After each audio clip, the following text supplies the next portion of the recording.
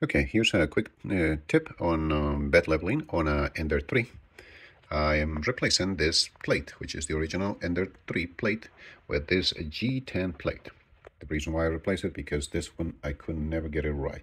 It was probably not even, and no matter how many times I level, it was not good. So decided to get uh, paid $12 for this on AliExpress, and then uh, just adjust it and uh, did the bed leveling. So to do that, I'm going to show, I'm going to turn on the printer, and how I do it.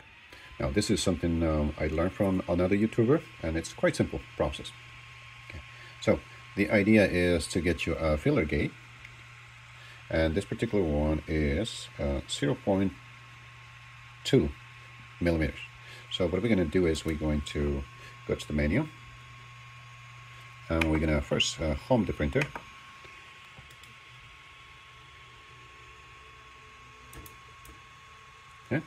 Second, what we're going to do is we're going to raise the, the print head and the z-axis. I'm going to slice it uh, 0.2, just our feeler gauge. Okay, if you have a feeler gauge 0.3, use raise it 0.3. I have 0.2, and that's what I got. Okay, so once we do that, next we're going to disable the step motors to, to move the, the plate manually. Once it's disabled, I'm going to turn off the printer. You can do this while the printer is on, doesn't matter. Um, it's usually advisable to get it preheat. I'm just turning it off because the noise.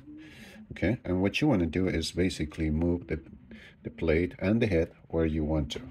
Usually um, the four corners where the, the squares are.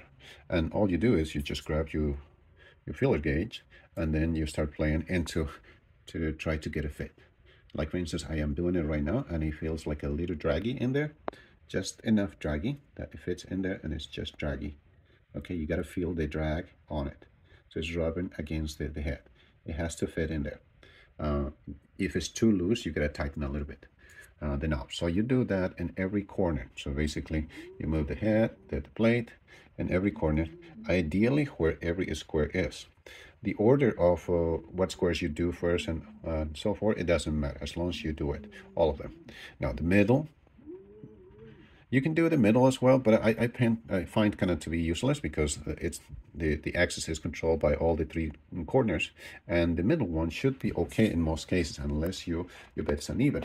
So notice that this one is, is pretty good. It's not perfect, but it's pretty good.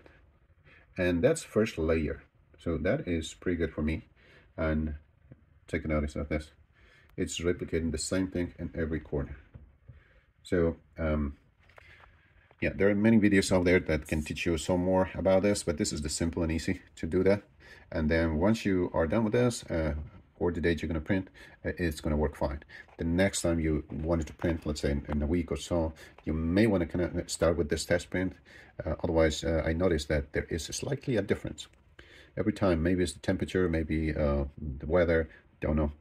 But there's always a slightly uh, difference. So you got to test it every time before you're going to print. And it's going to be for the good the rest of the day that you work on. Um, another thing is, uh, if the um, film filament doesn't look great the way you want to, you might want to uh, adjust the temperature of the filament. This particular filament, it, uh, it says that it is, uh, let's see, it's inverted here, but it says from 190 to 220. So, uh, well, 25 to 60 bed. So, but I found that this particular one works pretty well with uh, uh, 50 and on the bed and uh, 205. So um, I don't need no to hit it up more, and it produces good enough uh, resolution on that. And that's it. Um, just use a feeler gauge. That's the best. Not a paper. Paper can be very deceiving, and different papers do have different thickness. So um, that's it. That's all about. Uh, thanks for